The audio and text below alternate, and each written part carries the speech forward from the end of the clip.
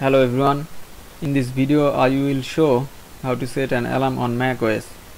So let's get started. To set an alarm, all you have to do is to click on calendar and then select a date. I'll just select today, then right click it and click on new event. A pop-up menu will appear where I will just give an event name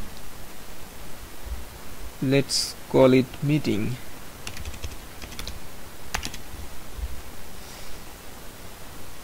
Then I have to set a time.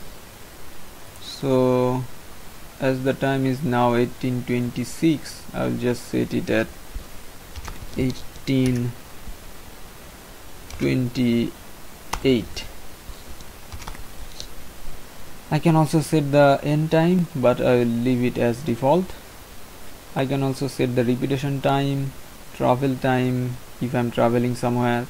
And in the alarm field I'll just set it at the time of event.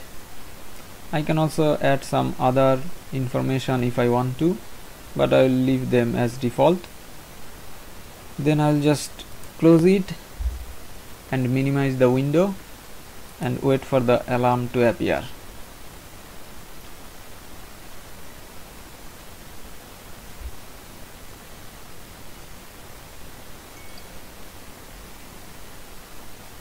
as you can see the alarm just appeared.